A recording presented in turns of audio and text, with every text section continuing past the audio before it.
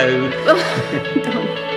Hello, good morning. It's Mark and Louise here. Good to be with you again today. We're here at the Vineyard Centre, and you might hear people moving around as uh, we record this. Um, we've been so excited that the Vineyard Centre is increasingly busy. Um, there's small groups meeting. Today they're preparing for the Eat Lunch um, project, which happens every Thursday lunchtime Yeah. for the um, industries on our estate. And it's, it's just good. It is, It's yes. just good and to it's have so good to around. see lots of children running around at the soft play on Tuesday. It was It fantastic. was great. So we're looking forward to doing more of those this term. But we especially wanted to talk to you about Sunday. Yeah. It's our birthday. It's 21 years since the church has been in Bury St Edmunds, and we just want to celebrate our church family birthday party. And we're going to be holding a barbecue straight after the morning celebration. So, just like we've done uh, before, we just invite you to stay around. It'd just be good to catch up together.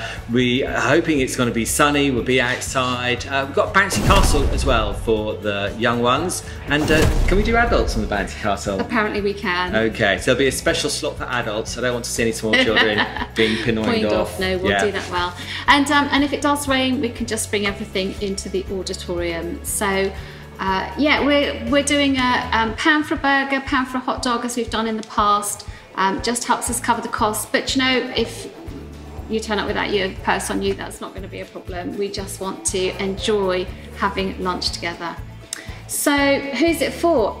Absolutely for church family, but these are always great Sundays um, to bring a friend along, to make it invitational, and you know, just for people to hang out, see who we are, what we do, how we tick. Uh, we would love to um, welcome your friends and family along.